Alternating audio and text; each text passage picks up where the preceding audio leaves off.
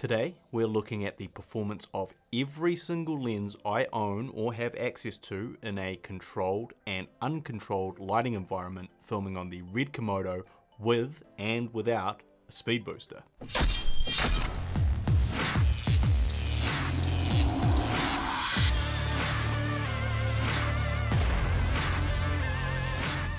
Hello everybody, my name is Guy Pigden. I am the Savage Filmmaker. I make feature films, web series and shorts and I'm here to give tips and advice to indie filmmakers about how to make those things. In a companion piece to one of my most recent videos exploring filming on vintage lenses, I thought I would test every single lens available to me and see how they performed on my Red Komodo. What do the different focal lengths look like with and without a speed booster? How does a set of new Cine Primes compare with a set of Cine Zooms or old vintage glass? And how do real Cine lenses compare to a range of other photography lenses that I use regularly for filming? Hopefully these tests will help inform you when trying to make a decision about which lens to purchase. And for those who can't be bothered with all the details, spoiler alert, the best lens for your 6K camera is completely subjective and up to you to decide after watching this video. Sorry, you thought this would be easy, right? Unfortunately, there's no accounting for taste but I will give my opinion on which I like the most at the end, so stick around for that. We performed one set of tests inside using my traditional YouTube lighting setup, and we performed the same set of tests outside in the daytime using some diffusion and bounce with only natural light to contrast and compare the difference. The lenses we tested were a set of Canon CNE primes, the DZO Pictor zooms, my vintage Elmarit Leica lens set, the Sigma 18 to 35 and 50mm art lenses, the vintage Helios 58mm 44-2, the Contax Zeiss 50mm 1.7, the Zeiss Jena MC Flektogon 35mm 2.4, the Canon 90mm macro 2.8, and finally my Tokina Vista Cine Zoom 16 to 28mm version 1. No grading was done to any of the footage with only the same basic Red Rec 709 LUT applied. The focal lengths range from 16mm at the widest to 90mm at the most close-up, and we had the Tilta Mirage variable ND matte box attached for every test. Now, before you get all aggy in the comment section, I'll be the first to say this is not a very scientific test.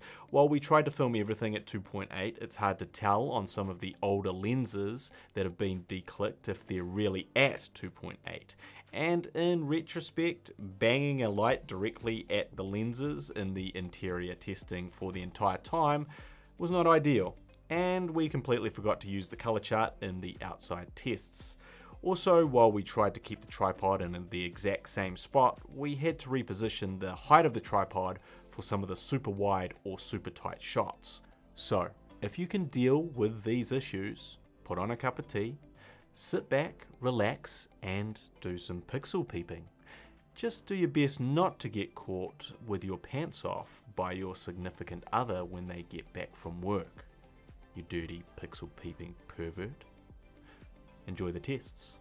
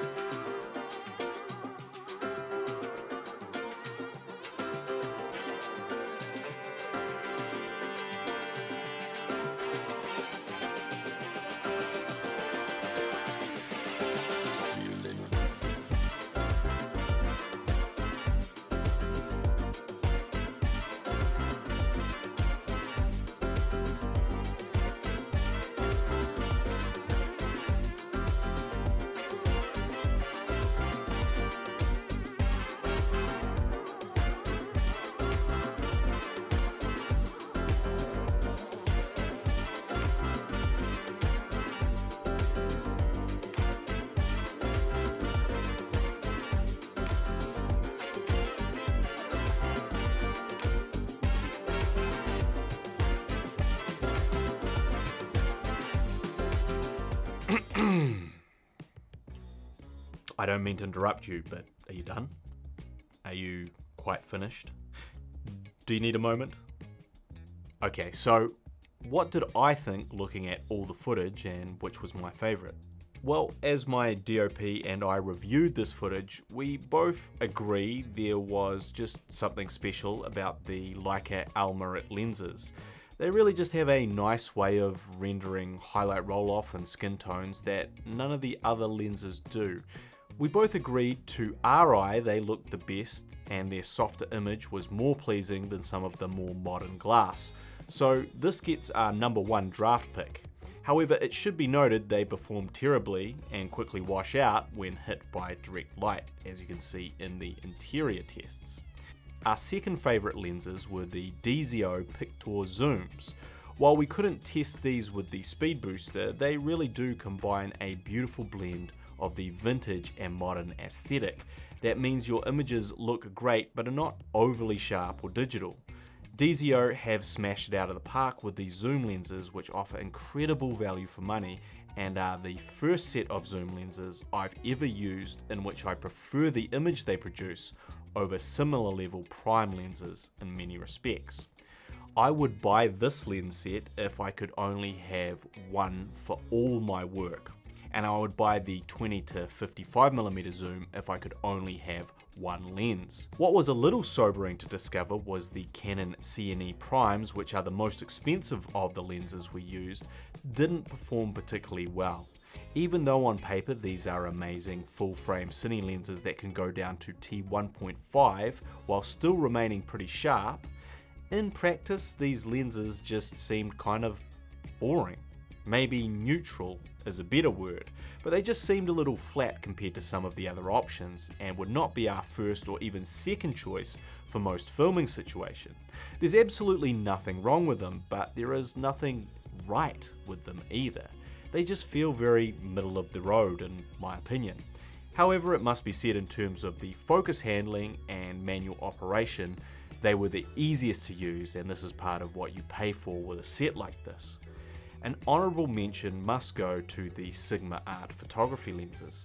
They really do a great job considering their cost, and if you're looking for a high performing set of lenses that won't break the bank and are really excellent, versatile all rounders that you can use for standard corporate work and more creative projects, and probably represent the best cost to performance ratio of any lens, the Helios 44-2 still remains a curiosity that while not very practical to use, does produce that fascinating swirly bokeh which you just can't help but marvel at. The Contax Zeiss and the Jena Flektogon lenses were fine, but didn't offer anything special all things considered. The Tokina seemed a little soft at T3, it was big, bulky and hard to find focus with. But that super wide angle with the relatively undistorted image can be really interesting, especially paired with the speed booster at 16mm. And in last place we have the Canon Macro, which in fairness doesn't really suit these types of filming environments, but certainly seemed considerably worse than the Leica 90mm. So which was your favourite lens? Sound off in the comments section. Were our picks correct? Do you think we're crazy? Can you even notice the differences? I want to know which lenses were most appealing to you. As always, I am the Savage Filmmaker, and I'll see you when I see you.